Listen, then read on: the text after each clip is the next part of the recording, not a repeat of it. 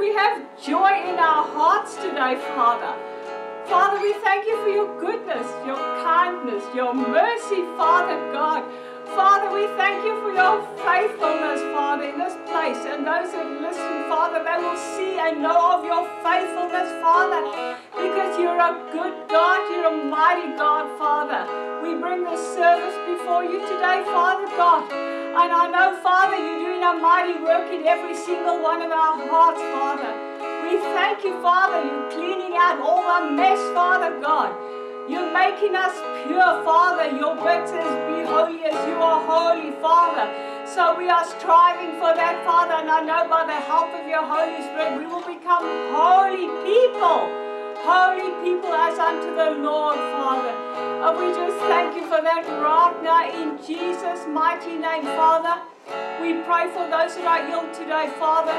We pray for uh, uh, Bridget and Anthony. We pray for Lorraine, Father. We pray those kidneys will work, Father. And uh, Bridget and Anthony will be healed in Jesus' mighty name. Those that are listening will be healed and restored and renewed.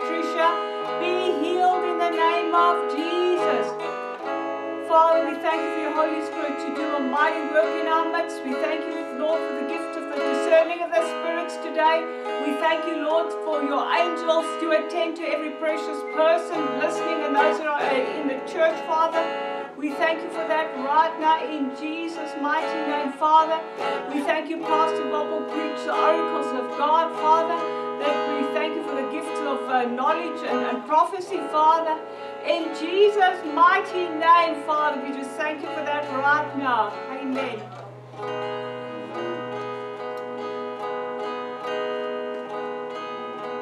You know what? There is change coming to our church. God's going to, He's going to heal every broken heart in this place.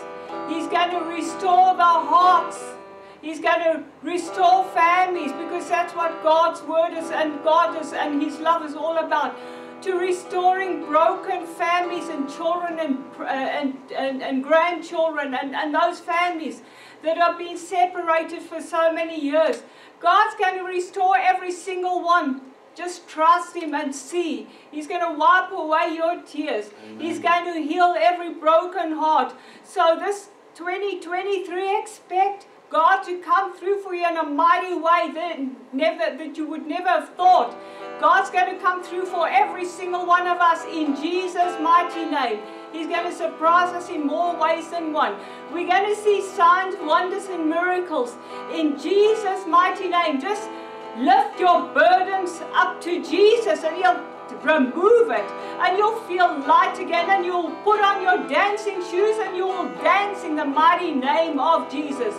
So this morning we're going to make a joyful noise unto the Lord. Hallelujah, Amen. hallelujah. Praise the Lord. Psalm 150. Praise God in his sanctuary. Praise him in his mighty heavens. Praise him for his acts of power. Praise him for his surpassing greatness. Praise him with the sounding of the trumpet. Praise him with the harp and the lyre. Praise him with the tambourine and dancing. Praise him with the strings and the flute. Praise him with the clash of the cymbals. Praise him with the resounding cymbals. Let everything that hath breath praise the Lord. Father, this morning it's an honor to give glory to you, Father God, and to tell you how much we love and appreciate your goodness, Father God. We thank you, your Holy Spirit will manifest himself in this congregation in a mighty way today, Father God that every person that's needing something, Father, that you'll see to them, Father. You'll heal and restore them and renew their hearts this morning in Jesus' mighty name. Amen. Amen. Lord, and we praise you this morning. We lift our hands in adoration as we praise you.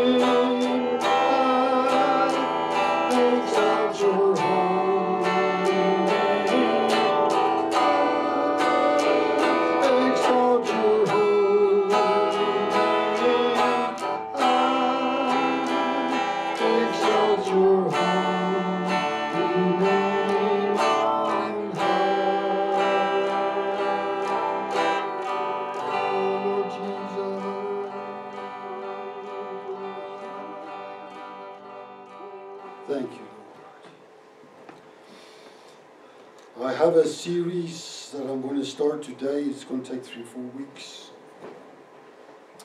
And uh, I've preached it before in this church. I was I did preach it at, a, at the Portuguese Evangelical Church as well when they asked me to go and minister there when they were running a course for their leaders. And uh, and I really believe that God wants me to share this with you today. And I think it's something that every Christian needs to hear and needs to understand. You see, today the church is being treated, not this church, you guys are here every week. Faithful. Faithful servants of God, faithfully coming to corporately worship God, but we'll get into that in a bit. But it's you out there that's watching this by video that should be here, and you could be here. I know some of you live too far away, but you could be here. And the title of the message today is Why Church? Why do we have to go to church? Why is it so important to go to church? I saw the other day on Facebook this guy who I knew from a previous church that we ministered at. And uh, he it's not the first time he's put this on Facebook, but he seems quite adamant about it, but he's in error. Why do I have to go to church? We are the body, we are the church. The church that we go to is the building. And he's quite right. But I don't know about you, but if you've got a car, a brand new Mercedes, or a brand new whatever, Toyota, whatever it is, that car has to go to the workshop to get maintained. That's right. And as Christians, we need to come to the workshop to get maintained. Absolutely. In Jesus' name. We all need it. Let me start by saying this to you that church, your church, is your spiritual home. That's right. It's your spiritual home you need as a Christian. We are spirits. We live in a body. We have a soul. But we are spirits primarily. We are made in the image of God. God is spirit. And the Bible tells us that Jesus said God is seeking those who will worship Him in spirit and in truth. So we are spirits and we need to have a spiritual home. Now, your own home can be a spiritual home as well. Make no mistake about it. You can come and you can, uh, at home, you can go into your home, you can put on praise and worship music if you want to, you can, whatever it is, you can spend the time together in prayer and reading the Bible. You can make that your spiritual home. You can even have a little altar there if you want to. But this here, this church, is your main spiritual home. And I'll tell you why it's your main spiritual home. It's your main spiritual home because you come here to be fed spiritually. You, we come together as believers because we have something in common. We all have Jesus Hallelujah. in yes. common. Yes. Amen. Yes. And we gather together to worship Him and to praise Him. We also have other things in common. We have forgiveness in common. We have all the fruits of the Spirit in common. We can share the gifts of the Holy Spirit to encourage each and every one of us in common. That's why it's good to have a spiritual home, and God wants your church, your local church, to be your spiritual home. Listen to me. Paul the Apostle spent so much time recording in the book of Acts, especially, all about the church, the early church, how they used to meet in their houses, how they used to break bread together. And if we left one another to do that now, it probably would never happen. That's why we come to church to do it. In Jesus' name.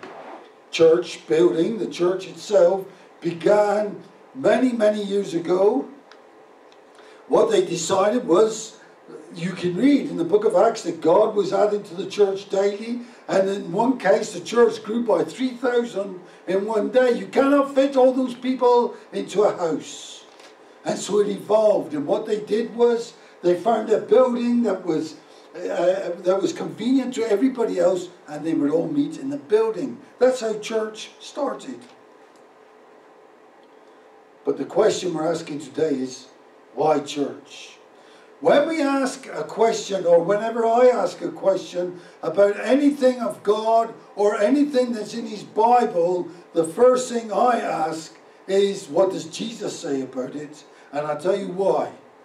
In your Bibles, in 1 Peter chapter 2, there's a little scripture there. A lot of people don't bother with it, but it's such an important scripture. Verse 21, sorry, I beg your pardon. 1 Peter chapter 2, verse 21 says this. It says, For to this you were called. Called what? Growing in the things of Christ, worshipping God, praising Him, praying to Him, trusting Him, believing in Him, reaching out to Him, living for Him. That's what you were called to.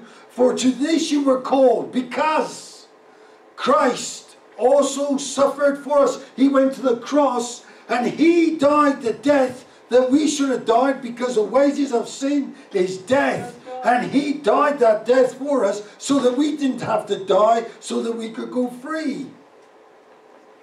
For to this you were called because Christ also suffered for us, leaving us, underline this, leaving us an example.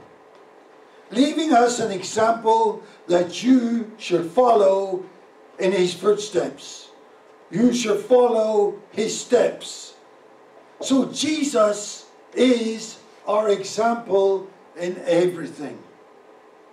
So then the next question is, is Jesus our example when it comes to going to church?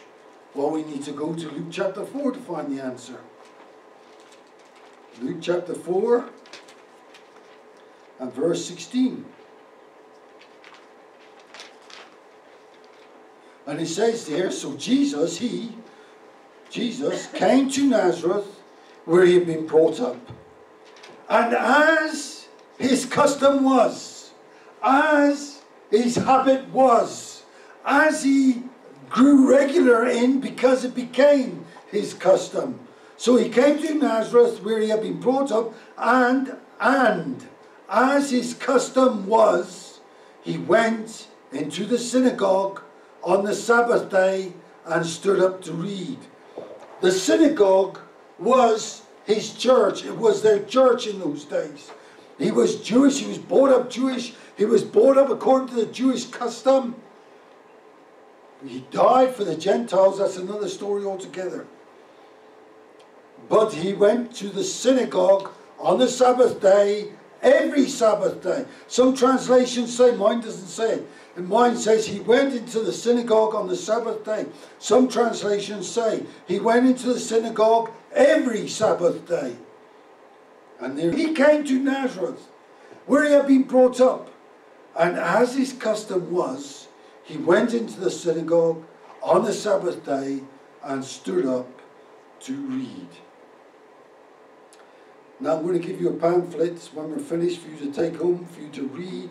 It expounds on what I'm teaching you today and it'll give you a foundation for what I'm going to be preaching on over the next two or three weeks. So I'm not going to take too long, I don't think, with the preaching today. But in Hebrews chapter 10 and verse 25, there the Bible itself warns us about missing church, about missing church, about finding excuses. Oh, but the family's getting together today. Lee and I have been doing this for 40 years. And when the family gets together, we go to the family after church. And if it's too far away, we don't go. We excuse ourselves. Because our worship of God is far more important to us. The only times we've ever missed church is when one of us has been too unwell to make it to church uh, or when we've been away on holiday. And let me tell you, when we go away on holiday, the first thing we do is find out where the local church is so that we can go to church. And if we can't, then we have church together wherever we are. But in Hebrews chapter 10 and verse 24, In fact, let's read from verse 23. It says here, let us hold fast the confession of our hope. Coming to church is a demonstration of that. Let us hold fast the confession of our hope without wavering, without being double minded, without doubting. For, the, for he, that's God, who promised is faithful. God is faithful. All his promises are yes and are amen. We're going to deal a little bit more with that in time to come. Verse 24. And let us consider, this is now God's reasons for us coming to church. Let us consider one another in order to stir up love and good works towards one another, helping one another. We're one body. Listen, this leg of mine, if it doesn't want to work with the rest of my body, it will die off. It will get gangrene and they'll take it off. Because the blood would not be circulating there. But my heart is pumping blood all around my body, and the blood is moving all around and making every part of my body active in Jesus' name. And so it is with the church. The blood of Jesus is circulating through the church. And the whole church, the whole congregation, the whole body in this church should be active towards one another, not forsaking and, and, and stirring up love and good works, not forsaking the assembling of ourselves together, as is the manner of some, but exhorting one another, and so much more as you see the day approaching. Now, I never experienced this myself when I when Lee and I met and we decided to get married, we had to become Catholics because Lee was a Catholic. And uh, we were Catholics for a short time, maybe two years, and then they booted us out because of our belief and what the scripture says and the gifts of the Holy Spirit and things like that. But uh, there's no need to go into all that detail. But what I want to tell you is, when I was a little kid, living in 10 Lympne Avenue, Ernesettle, Plymouth, our next door neighbours, our new next door neighbours that moved in, they were people that came from Malta. They were Maltese. And they were staunch Catholics. And one day I, I was outside, I was small, I was smaller than Trent. Trent's big now, so. But uh, I was a youngster and I was outside in the garden playing with the, the new neighbors, two children, a girl and a boy. And we were playing, and then I saw a car pull up, and a priest got out. And the priest went into the house. The next thing is, the mother came out and called the two kids, and they also had to go in. Eventually, they came out, and they told me, no, we had to go in because the priest wanted to speak to us. And he told us that we were in big sin because we missed church last Sunday. No, I'm not saying it's a sin to miss church. I'm not saying that at all. Let me just tell you something about God. God doesn't want you to come to church because you feel forced to come to church. God doesn't want you to give financially to the church because you feel forced to do it. God doesn't want you to sing and clap your hands because you feel forced to do it.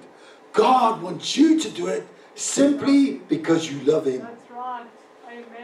And you want to be obedient to Him, you want to be pleasing to Him, but you want to demonstrate your love and your faith towards Him.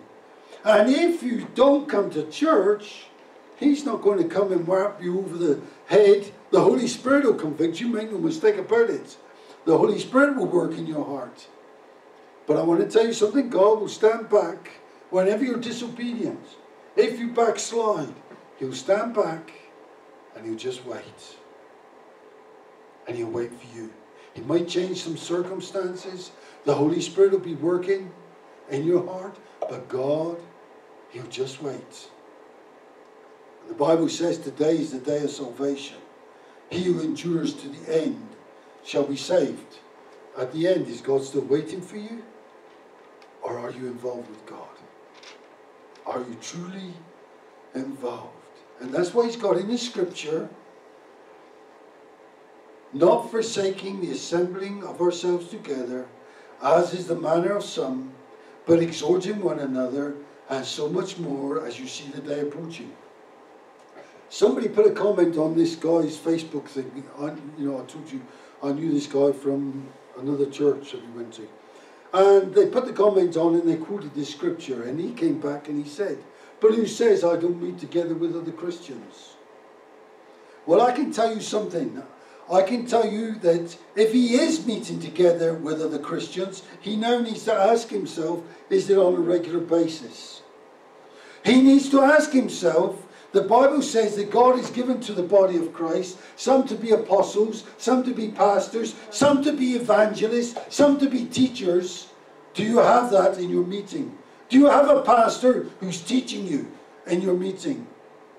Do you have, uh, if God calls you to be, to be involved in evangelism, do you have that facility in that home where you are? We've done evangelism. In this very church, we've taken the church out every Saturday morning doing evangelism. We've done it. And we were able to do it. Why? Because we were working together as a group, as a congregation, as a part of the body of Christ in this local church, we went out and we shared the gospel of Jesus Christ. So the Bible warns us not to miss church. Praise God. God doesn't want us to miss church. There are scriptures, I don't have them here, but they come in the next week or two in the notes, I know. And uh, this says that Jesus joins us in our time of praise to worship the Father. He joins us. He's here spiritually with us today.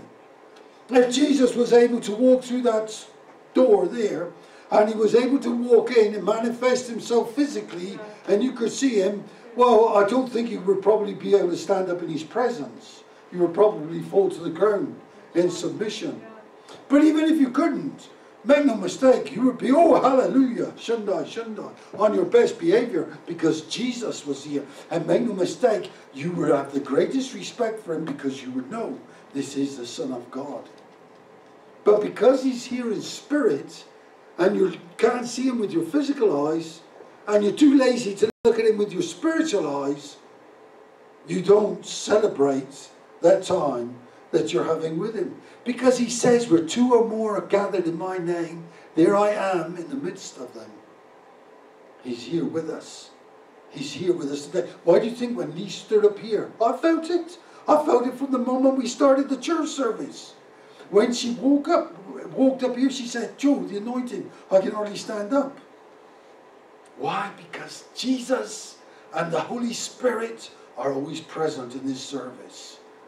And I've said to many times to the congregation here, maybe other people who have left the church, and I've said, Can you feel his presence? Can you feel his presence? I had one guy come up to me and he said to me, he said, You know what? I can never feel his presence. I wish I could feel his presence like you do. And I sat down and I talked to him, and I can tell you he had so many other things in his heart that he had no room for the presence of God. You have to make room for the presence of God. You have to trust God. You have to know that when you make a decision and you take it before God and God gives you permission or the Word of God shows that God is in agreement with your decision, you then have to trust God and keep on trusting God without wavering. Even if it doesn't manifest when you think it should manifest. Even when it doesn't appear to be happening when you think it should be happening. Because God's timing is perfect. And the Bible tells us in Hebrews chapter 11 that there were many men and women of faith that trusted God, that did things, they lived by faith, they did great exploits by faith, but there were some things that they were believing God for by faith that never even manifested in this life. Why? Because God is more interested in you having faith and trust in Him than you receiving from Him. He wants to bless you. He really wants to bless you. He delights in the prosperity of his servants. The Lord is your shepherd, you shall not lack. Yes, amen. He delights in partaking for you and providing for you and, and, and, and giving you all your needs. My God shall supply all your needs according to his riches and glory by Christ Jesus. Hallelujah. Matthew chapter 22.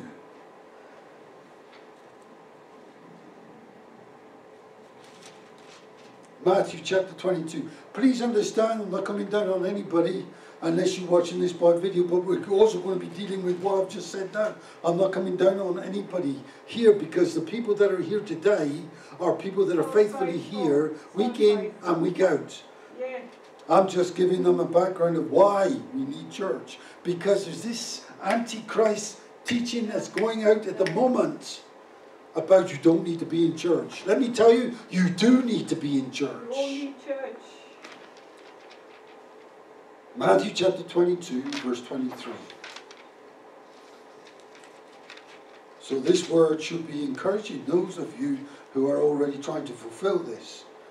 And this word should be convicting those of you that need to do this. Matthew chapter 22, verse 23.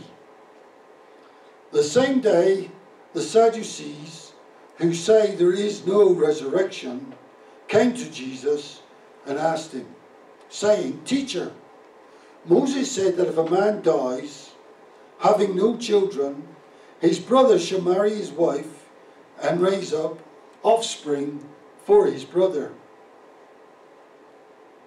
Verse 25 Now there were with us seven brothers. They made this story up. The first died after he had married and had no offspring. He left his wife to his brother. Likewise, the second also, and the third, even to the seventh. Last of all, the woman died also. Therefore, in the resurrection, whose wife of the seven will she be? For they all had her. You see, it was a custom under the law in those days. Thank goodness it's not a custom today. But anyway, uh, if a guy was married to a woman and she didn't have a child and he died, then she would have to go and be with his brother, and marry the brother. Then he would try and give her a baby. If he died, then she would have to go to another brother. And so it would go on and go on. Here they're making this story up and they said there were seven of them. And whose wife will she be in the resurrection? Likewise, the second also, and the third, even to the seventh. Last of all, the woman died also. Therefore, in the resurrection, whose wife of the seven will she be? For they all had her. And Jesus answered, I want you to catch this. Jesus answered and said to them, You are mistaken. You don't know the scriptures, nor the power of God. For in the resurrection, they neither marry nor are given in marriage, but they are like angels of God in heaven. You see, you need to have a spiritual home. You need to have a church because you won't grow if you don't have it. You need to come to church to learn what the scriptures are saying. I can tell you now, if I close this Bible and we close down the church, and I just say to you all, okay, guys, off you go home. You must have church every Sunday in your home. I bet you you won't do it. You might do it for a week or two, but I'll tell you now something, you will stop doing it. You'll get weaker and weaker, and you will stop growing spiritually, and you will stop learning what the scripture says. And like I said to you, a car has to go into a workshop for maintenance. So you need to have a spiritual home. You, it's so important that you have this spiritual home. Then, I'm just touching some of this you find in, in what uh, the, the pamphlet I want to give you, but uh, it's a little bit more in depth there. Then we deal with church hoppers.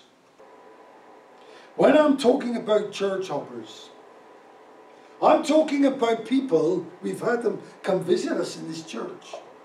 Come and join the church, and then after church, Oh, Pastor Bob, I loved, I loved your praise and worship, and uh, I really loved your preaching, and uh, I, I need to go away and pray about this. The only thing is, Pastor Bob, uh, we're so used to a big band like they got at the Rhema Church or a Christian Family Church or Maranatha. We, we, we're used to this. We're used to the big band and the, and the choirs and all the rest of it. Listen, nowhere in the Bible does it say you've got to have a big band. What it says is we need to praise and worship. That's right. And God wants us to praise and worship Him in spirit and in truth from our hearts, not to go to a church where we get entertained. That's right. That's right. There's too much entertainment. Some of the churches have become. I was reading an article uh, the other day, and please, I'm not criticizing, I'm just stating uh, uh, st- statistical facts. And that is this that the church in America, the mega churches, are declining slowly. They took a big decline during COVID, and they're still decli- declining. But the smaller churches are, are, are popping up. There's more of them popping up Yeah. on street corners in America.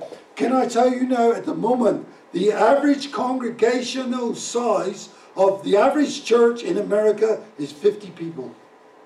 When you look at some of the mega churches, you can't believe that. But it's a statistical fact.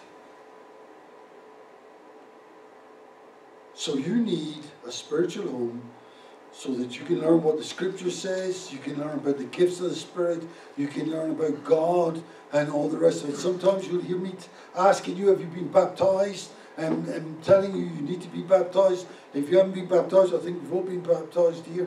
But if you haven't been baptized, you need to speak to me because we need to get you baptized. But I'm talking about people, like I said just now, they are church hopping. Now, what is the problem with church hopping? Let me first read to you James chapter 5, verses 13 to 16. Is anyone among you suffering? Let him pray. Is anyone cheerful? Let him sing psalms. Is anyone among you sick? Let him call for the elders of the church and let them pray over him, anointing him with oil in the name of the Lord. And the prayer of faith will save the sick, and the Lord will raise him up. And if he has committed sins, he will be forgiven. Confess your trespasses to one another and pray for one another that you may be healed. The effective, fervent prayer of a righteous man avails much. If you're a church hopper, that ain't going to happen. That's not going to happen. I can give you a good example. Not only uh, on the most recent occasion, but this has occurred previously as well, where people have asked us to minister to them. Come and pray for me, I'm sick, or come and help me, uh, my marriage is suffering, we're going to get a divorce, please come and help us, and all the rest of it. And when you go along and you see the people, and you say to them, you need to come to church on Sunday. Oh, I've come my church. What church do you go to? So and so. But why have you called me and not your pastor? Oh, no, no, my pastor doesn't know. And in fact, I don't know my pastor or the leaders of the church that well. You see, here I've just read to you. Is anyone among you suffering? Let him pray. Is anyone cheerful? Let him sing a song. Is any among you sick? Let him call for the elders of the church and let them pray over him, anointing him with oil in the name of the Father. And the prayer of faith will save the sick, and the Lord will raise him up. You see, that's all a part of church life. That's all a part of your life in a spiritual home where the pastor knows you.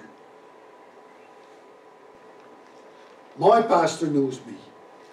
And when my pastor prophesies over me, or my pastor has a word for me from the Lord, I know it's from God. I've seen him speak and I've seen it come to pass. If I went to a big church, that pastor would probably never ever even talk to me. He would have somebody else that would come and talk to me. If I got involved in that church like that. And she declared to them, I will never leave Jesus Lord Ministries. It's a small church, but it's such a, a church that's spiritual and close to the Lord. In Jesus' name. So church hopping has massive disadvantages because you'll never be known by the pastor. You will never be shepherded God works in this illustration, if you like. He works, he starts in Psalm 23 by saying, The Lord is my shepherd. In John chapter 10, uh, or John chapter 8, I'm not sure which one, Jesus says, I am the good shepherd. Then he calls pastors shepherds. And he calls the congregation sheep. He relates to us. Now, I'm going to say something that's uh, is not meant to offend you, but if you speak to specialists in farming, they'll tell you how stupid sheep can be. That's why you need a shepherd. I'm also a sheep, but I'm also a shepherd. Proverbs chapter 27 speaks about this. Proverbs chapter 27 says this. We're nearly finished. If I can get through these scriptures quickly. Proverbs chapter 27 says, in verse 23, it's a word to pastors. This is a teaching to pastors. And it says, Be diligent to know the state of your flocks and attend to your herds. Now that's a scripture that is in line with another scripture in Isaiah, which I'm not uh, working on today, but in another time. How on earth can a shepherd or a pastor be aware of the state of his flock if his flock are missing all the time? We have a person that's supposed to be a member of Jesus Is Lord Ministries, that whenever they got problems, they're always sending a message, please pray, please do this, please do that, but you never see them in church. How on earth can a pastor know the state of his flock if his flock are absent from church or if they're not in relationship with the pastor and the leadership of the church? How can he know that? That's why God has designed it that we need to come to church. So you need to have a spiritual home. You need to avoid being a church hopper. The next thing I'm going to tell you is what we call, I've got a whole message on it, but I'm not going to share the whole message today. It's for another time. But I'm going to touch on it because it's one of the reasons why we need to have a church and what the devil uses to try and destroy the church. He tries to do, destroy the church by church hoppers, by making things in church pleasing to your flesh, so that you go from this church to that church. Oh, I'm tired of this church. I'm tired of Pastor Bob speaking the truth, or he says it's the truth. I'm tired of listening to it. I'm going to this new church down the road. I've heard it's a very good church. And there, they, they're so loving and so welcoming. And so off this person goes to the church down the road. They join that church. They've been going there for a couple of weeks. Then they found that the pastor is starting an early prayer, morning prayer meeting at 5 o'clock in the morning, three times a week. And he expects everyone in the congregation to be there at 5 o'clock in the morning before everybody goes to work. I can't get up at 5 o'clock in the morning. It's ridiculous. I thought this was a good church. I'm out of here. And he goes swimming out down to the church down the next road. And so it goes on, and it goes on, and it goes on. God uses church hopping to destroy you spiritually. The next thing that I'm going to speak about, which I've got another message on, is what I call spiritual cancer. Spiritual cancer. I want to read a scripture to you first. Matthew chapter 7, verses 1 to 5. Jesus is speaking. Jesus says in Matthew chapter 7, verses 1 to 5, Judge not that you be not judged. For with what judgment you judge, you shall be judged. And with the measure you judge, it will be measured back to you. And why do you look at the speck in your brother's eyes, but you don't consider the plank that's in your own eye? Or how can you say to your brother, Let me remove the speck from your eye, and look, a plank is in your own eye. this is what Jesus is calling you. Hypocrite! First remove the plank from your own eye, And then you'll see clearly to remove the speck from your brother's eye. Critical spirits the devil uses, the devil tries to destroy churches, he tries to destroy Christian companies, he tries to destroy marriages by introducing a critical spirit. I wonder why the church hasn't grown. There's something wrong. Must be Pastor Bob. Must be something wrong with him. He must be doing something wrong for the church not to grow. I don't like what Pastor Lee said when she was preaching last week. Did you hear what she said? I'm sure she was she said it just to get at me.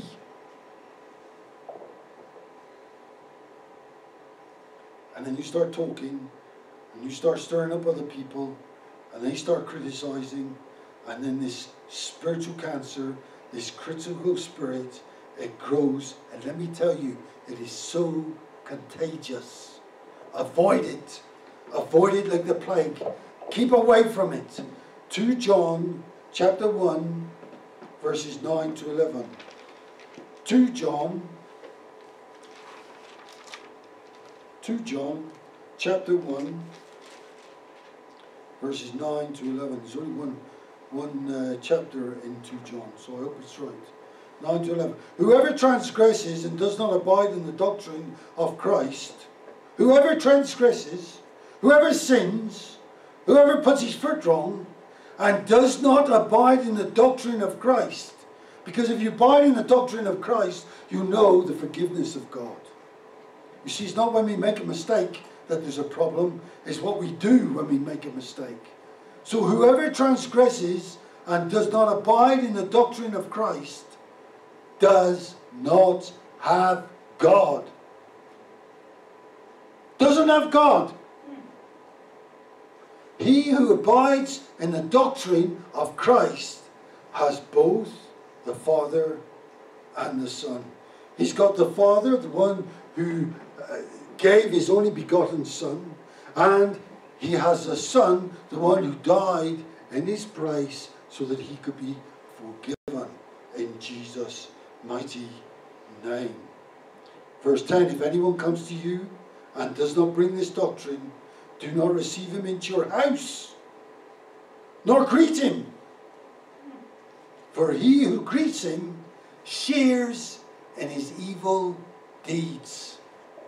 So avoid it. Avoid that critical spirit.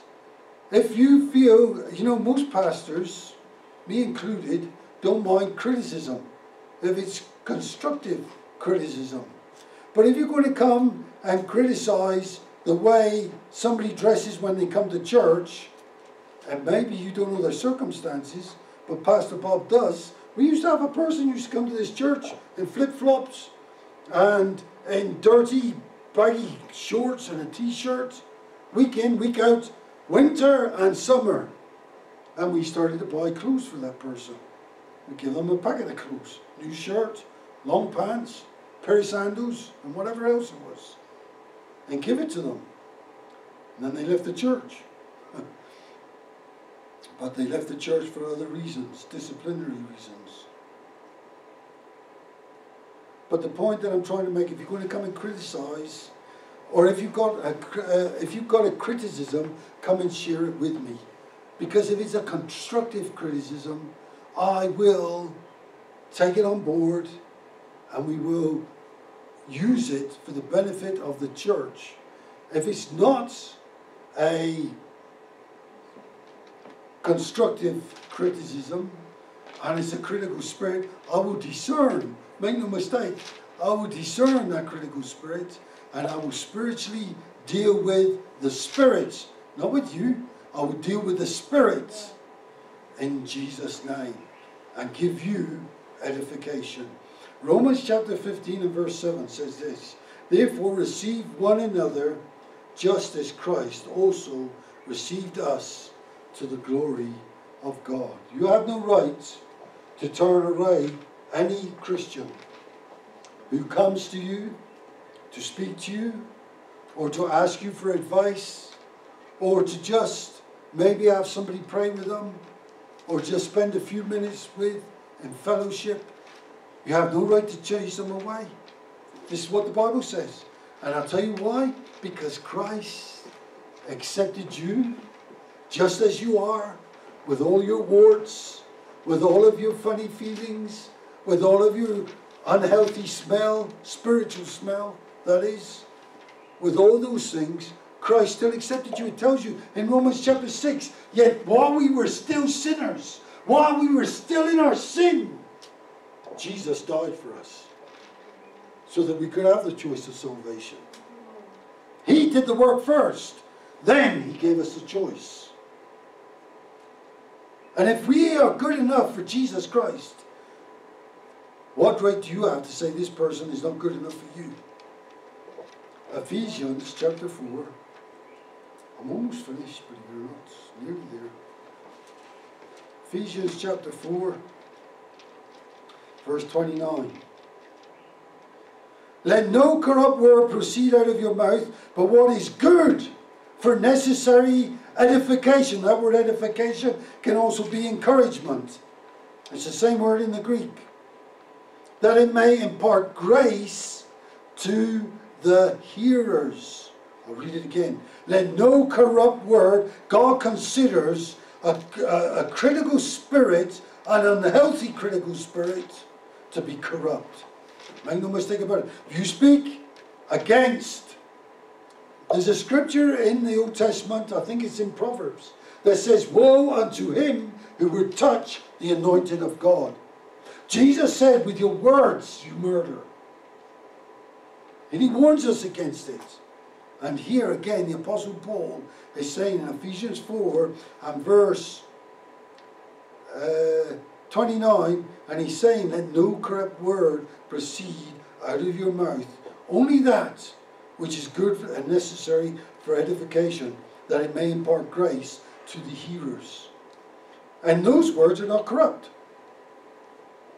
Then, in Philippians chapter 2, I think a lot of these scriptures are in the pamphlet here, but I'm reading them to you in case you're lazy and you don't bother to read the pamphlets.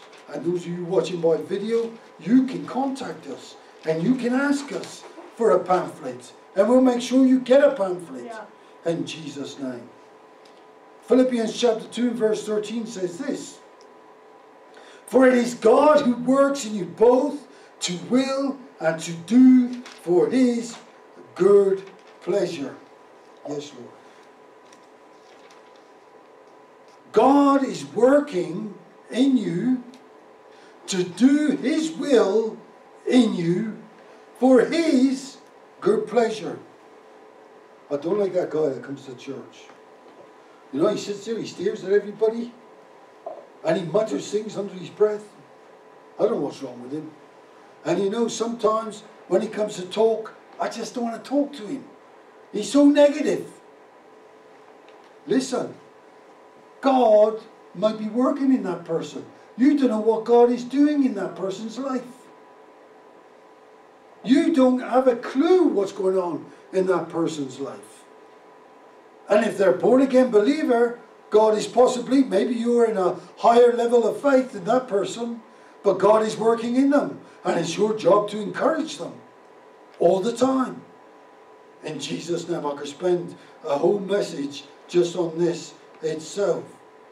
Sometimes, I can say this quite now, there have been people that have come to this church, they've left this church because of something I've said when I've been preaching. I've had them say, Do you remember two weeks ago when you said so and so, so and so, and you were talking to me? And I said, No, I wasn't talking to you, I was preaching to the congregation. But what I do say to them is, maybe the Lord was talking to you. Maybe it applied to you. I don't know. I don't know what God's doing in your life. That's another reason why the pastor needs to know you. Then, the last reason why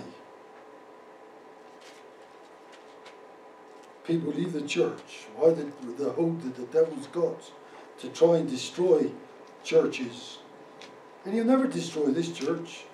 He'll never destroy this church. My wife and I, we've had opportunity to go and pastor other churches, bigger churches, wealthier churches, to be able to be full time in the ministry and have a decent salary. We've had that opportunity.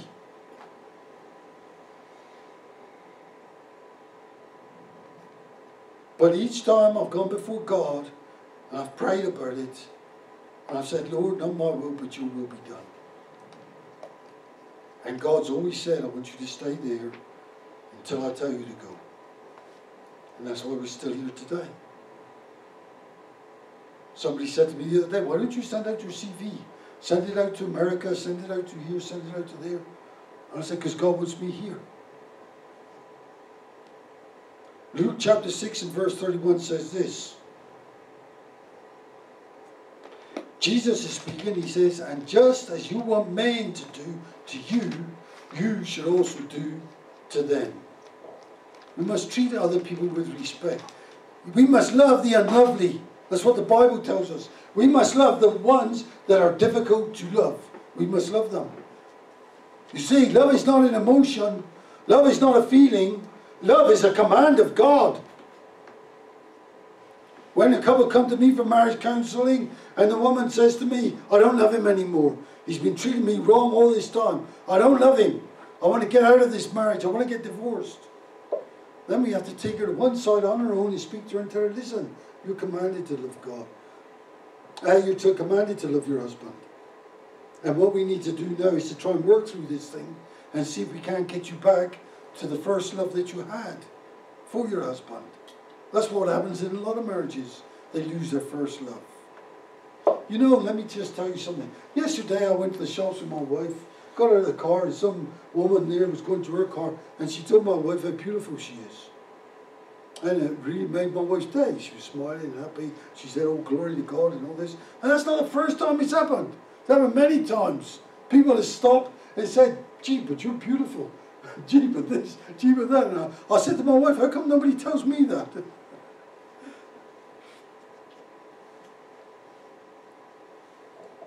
And we shouldn't worry or be offended when somebody else gets blessed or when somebody else is told they're beautiful or somebody else receives a miracle from God. We shouldn't get upset or get offended because we should be treating others as we want to be treated ourselves. Now, lastly, I'm going to finish off with this. And uh, let me tell you something treating others as you want yourself to be treated. Usually, people will say, I'm looking for the perfect church. You're never going to find the perfect church because there isn't no perfect church. Let me see if this is the scripture that I want here. Let's get back to here a minute. And I'll tell you why we, you won't uh, find the perfect church. Jesus gave us the answer quite clearly here.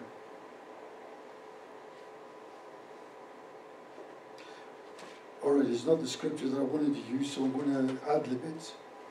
There was a rich young ruler, and he came to Jesus, and he said, Jesus, he watched Jesus do miracles, and he said to Jesus, he said, Good teacher, what do I have to do to inherit the kingdom of God? And Jesus said to him, Why do you call me good? In some translations, it says, why do you call me perfect? Because in the Greek language, the word good means perfect. Why do you call me perfect? Because there's only one that's perfect, and that's my Father in heaven. Nobody is perfect. We all make mistakes. That's why we have to give consideration to each other. Why we have to understand that God's working in each other at different levels trying to change their lives around, trying to get them to where they want to be, or where God wants them to be, let me rather say. And it's the same with the church. You're never going to find a perfect church. Never. But what we try to do here at Jesus Lord Ministries is we do try our very, very best, prayerfully to have a church of excellence. A church of excellence. In Jesus' name. I wouldn't want you to be in some corner of a shop somewhere having church or in some dirty old office block having church. I want you to be in a nice place with a nice atmosphere. I want you to experience church with a reasonable sound system where we can record the meetings, all right, the videos and, and our re- recordings. They are part of our ministry, sending them out. They go out all over the world. Well, they go out on YouTube and Facebook. People all over the world watch them. We may not be the perfect church, but we believe by showing God faithfulness and excellence, we will achieve a lot in Jesus' name. Lastly, in Psalm 133, hear this and hear it regarding what I've just said to you. Psalm 133 Behold, how good and how pleasant it is for brethren and sistren, for brethren to dwell together in unity. And It is like the precious oil upon the head, running down on the beard, the beard of Aaron, running down on the edge of his garments. And It is like the dew of Hermon, descending upon the mountains of Zion. This is speaking about God. It's speaking about the priesthood. It's speaking about the Holy Spirit. It is like the dew of Hermon descending upon the mountains of Zion, which represents the church, by the way. For there the Lord commanded the blessing, the blessing, life forevermore. Life forevermore. The greatest blessing that you can receive is not that couple hundred thousand rand that you need at the moment, not that, uh, not a nice quiet wife to replace the nagging wife that you got. The Bible says it's better for you to go and sit on the roof of your house than to share the house with a nagging wife. No, not that at all. God sees your biggest blessing as salvation, eternal life in Jesus' name. And this has gone over. I thought it was going to be shorter than this, but it's gone over a bit. And uh, we'll continue on next week with the rest in this series. But what I want to do right now is to give you all a copy of this pamphlet. I want you to take it home. I want you to read it.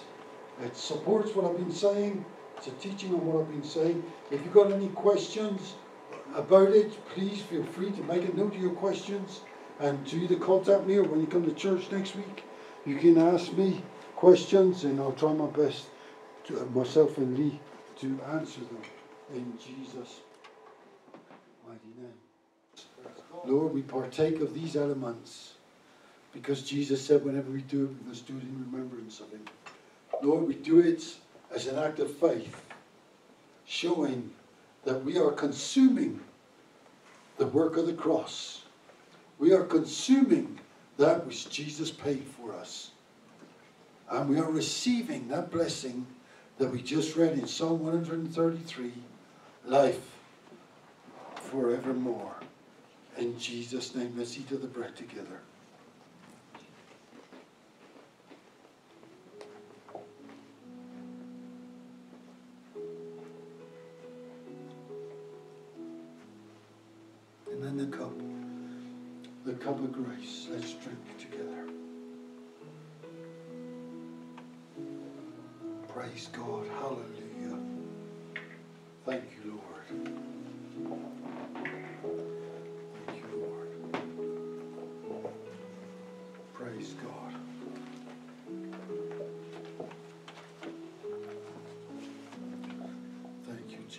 Father, we just thank you that we know it's the beginning of 2023, Father.